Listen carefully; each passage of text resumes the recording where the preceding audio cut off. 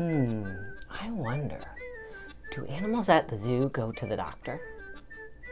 Oh, hi, I'm Kaden. Welcome to Smithsonian's National Zoo and Conservation Biology Institute. Well, I'm wondering about animals and caring for them here at the zoo. I know I go to the doctor for checkups, and I bring my cat to the vet for checkups, but what do animals at the zoo do? Do they get checkups? Hmm, let's go explore the zoo. Let's find out. Come on.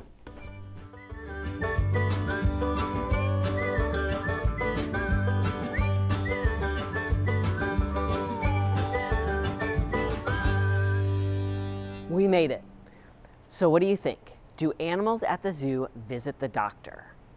Well, animals big and small are just like us. They can get injured, they can get sick, they can even have a runny nose like we can. So yes, absolutely, all animals that live here at the zoo visit the doctor. And this is where they come, to the National Zoo's Veterinary Hospital.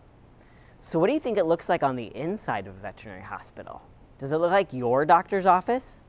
Let's go explore and find out. Come on.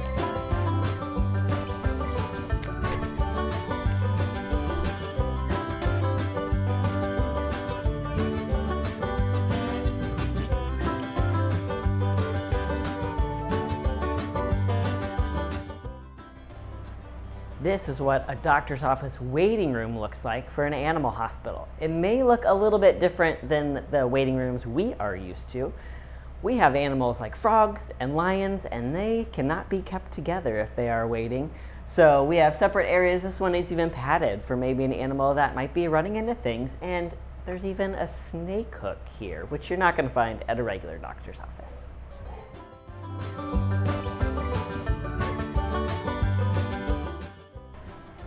This is a room where our veterinarian staff meet to go over our plans for the day, procedures, talk about different animals, and figure out everything they're going to do. They gather supplies. We have a lot of supplies in the room. Some you may see that look similar to what you might see at your doctor's office, but some are very different as well.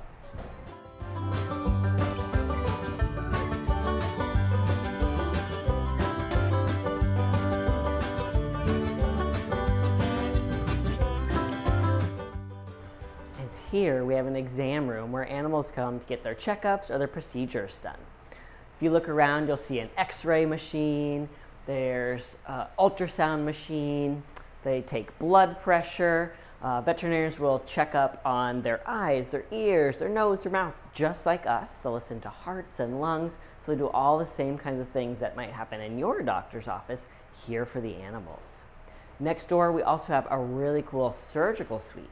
So if an animal gets a broken leg or uh, bumps into something and needs to get stitches or maybe even have a tooth pulled, veterinarians are also dentists for animals, so they will come to the surgical suite when that needs to happen. But not all animals will ever see this room, even though every single animal here gets an exam and a checkup by the veterinarians. Can you think of animals that might not ever see this room? What animals might the veterinarians have to go travel to go visit? Hmm, what can you think of?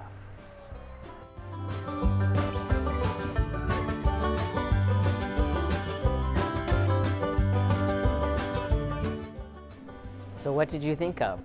What animals might the veterinarians go visit instead of them coming to the hospital? If you're thinking some of our big animals, you are correct. Here's a great example of our Asian elephants. They never head up to the veterinary hospital. The veterinarians come visit them. They have their own special areas here at the zoo for their procedures. Now, other animals the veterinarians may come visit. They might go visit a cheetah in their enclosure or a porcupine or some of our bears instead of bringing them to the hospital if they don't have to go to the hospital. So now I'm wondering, do all animals here at the zoo get checkups? What about snakes or spiders? Do the veterinarians visit them or do they come to the hospital?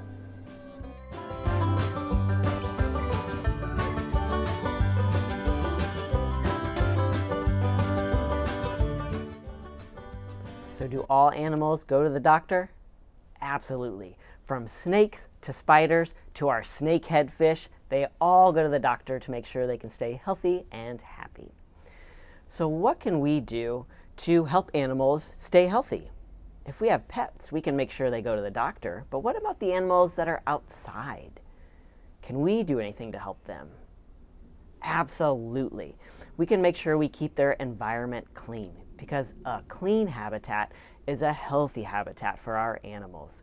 We can do things like pick up litter or just make sure our trash and recycling get put in the proper places. We can also just use less so there's less trash in the environment. We can use a reusable water bottle or make sure we use plates or utensils that are reusable instead of plastic or paper. So we can do our part to help too.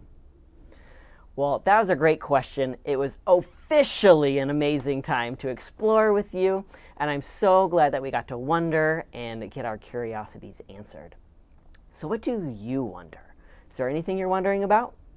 Take your questions that you're wondering and go find out the answer. Ask an adult if you need help, and they can learn along with you too.